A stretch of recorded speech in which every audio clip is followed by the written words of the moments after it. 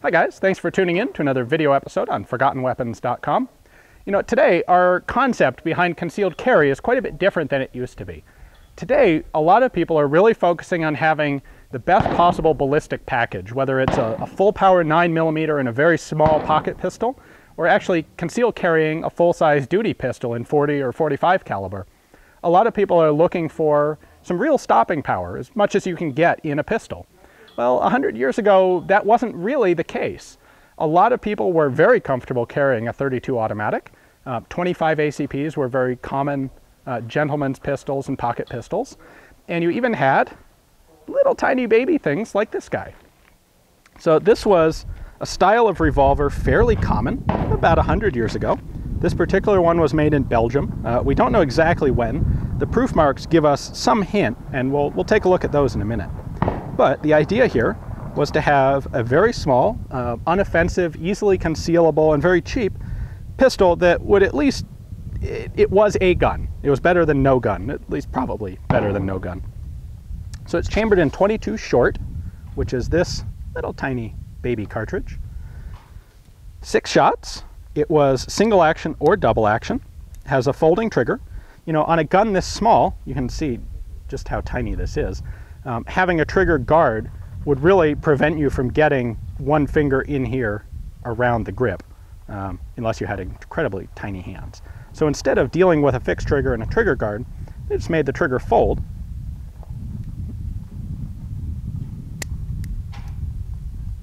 Trigger folds up like that, stays out of the way, it's not that likely to snag on something, and it allows you to actually hold on to the gun when you're firing. So there is a safety notch on the hammer so that when the hammer's down, even if it's over a live cartridge, pushing on the hammer will not allow it to discharge.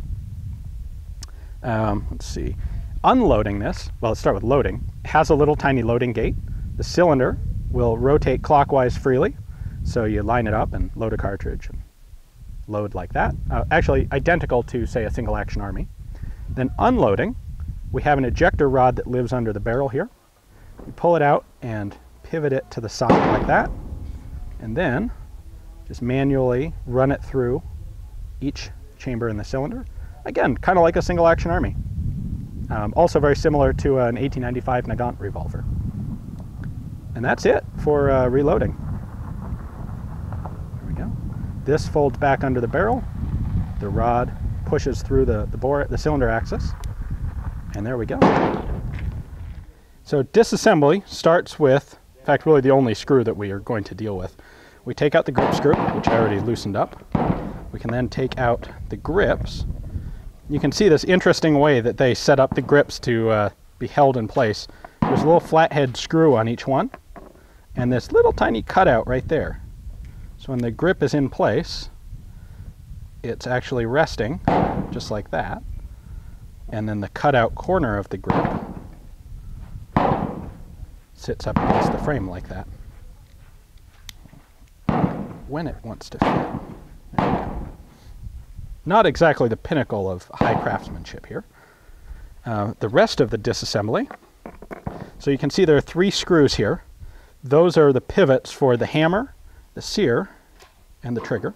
I'm not going to take those out because I really don't want to mess with it in that much depth. But, so if we flip it over. Uh, to take the cylinder out, going to pull, this is actually the, the unloading, the ejecting rod, which functions like that. We're going to pull that out of the way. And then we have the cylinder pin right here, which pulls straight out. And then the cylinder pops out the side. So there is our fully disassembled little mini revolver. Now there are a couple marks on here that we can see and that can give us some hint as to identifying the origins of this gun. The first, you can see, I'm actually going to use this screw as a pointer. We have a crown over R. That's a Belgian proof for a rifled barrel. We have a star over U. That is a, an inspector's personal proof mark. So that's kind of like his signature mark. If there was a problem with the guns and they came back, the proof house would be able to tell by that uh, letter, because it would be different for each inspector, they'd be able to tell who had proofed the gun and who they needed to talk to. Now on the cylinder, we have that star U, so that's to be expected. That's the same inspector, also checking the cylinder because it's also a pressure bearing part.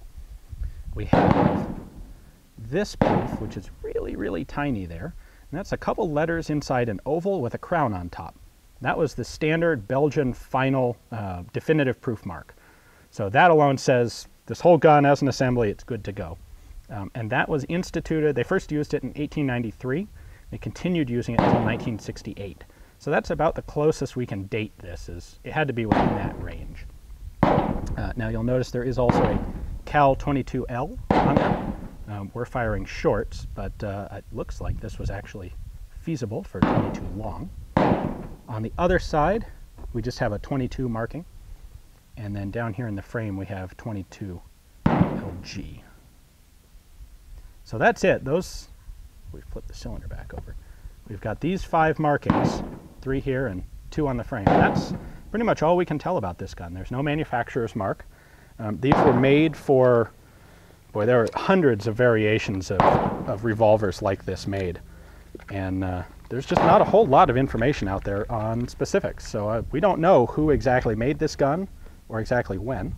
Um, just for reference, we have a 22 long rifle, which clearly does not fit. It's uh, definitely too long, and it's hitting the end of the, the throat in there.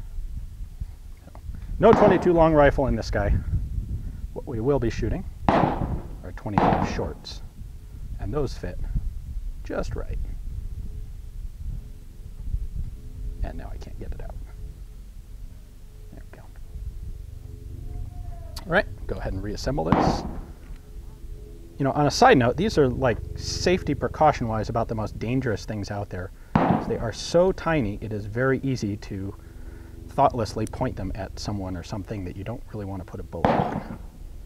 Like my overly brave cameraman there.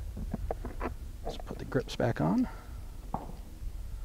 These grips are not all that well fitted and they take a little bit of pushing and fiddling to get in place. All right, let's do some shooting. So I'm gonna go ahead and open the loading gate there. And to start with, I'm just gonna put one cartridge in. Boop. Just like that. Close the loading gate. Bring that around so I can see on this side. My one cartridge is there.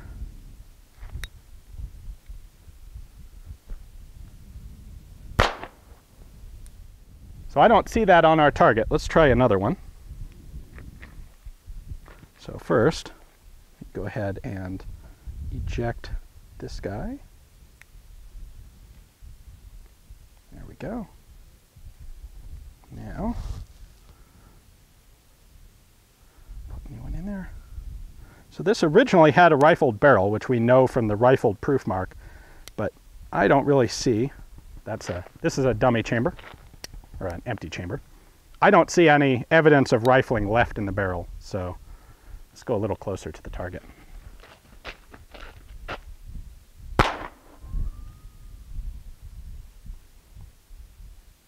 I still do not see a hole in the target. okay. Let's try this again, shall we?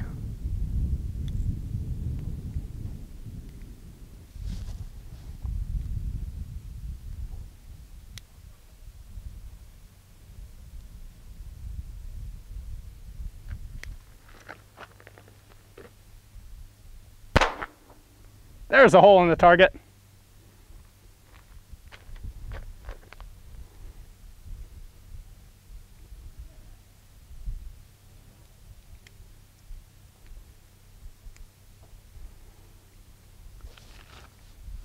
All right, guys.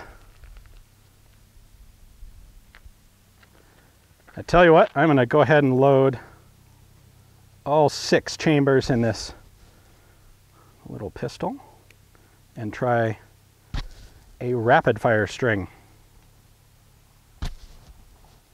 Missed one when I first loaded it.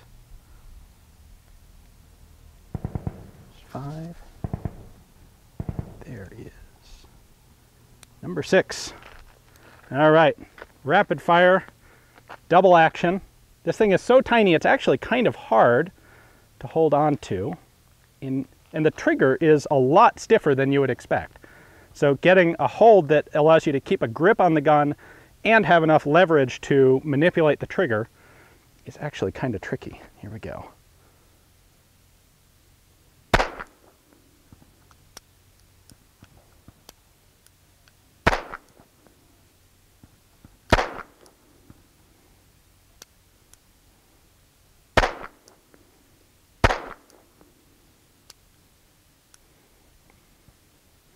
Not sure what was causing the misfires. However, I'm going to zoom back just a bit and uh, show people how far I am from the target here.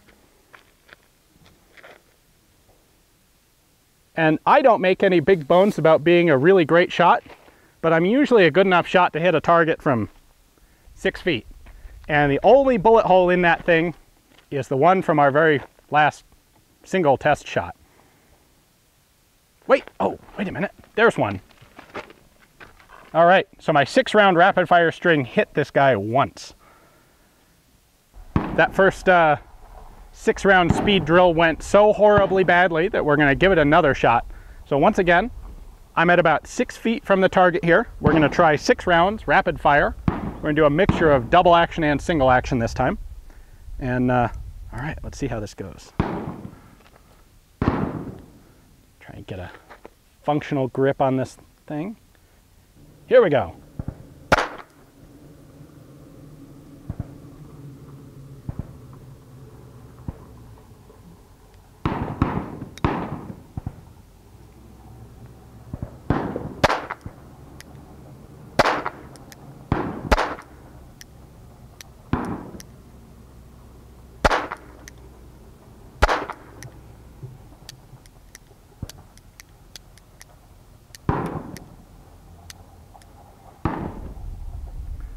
All right, that went a lot better. I actually put five rounds on paper because the sixth round decided not to fire for some reason.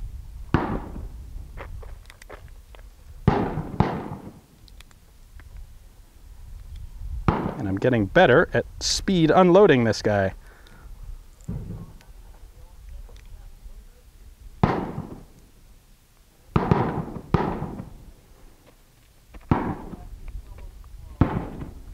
I stand corrected. All of those did fire.